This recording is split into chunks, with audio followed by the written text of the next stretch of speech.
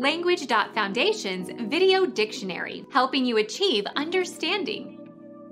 Constituting or involving subtraction. A subtractive correction. Become our student and get access to effective and free educational materials. Subscribe to our channel to become a part of our growing community and to learn English effectively.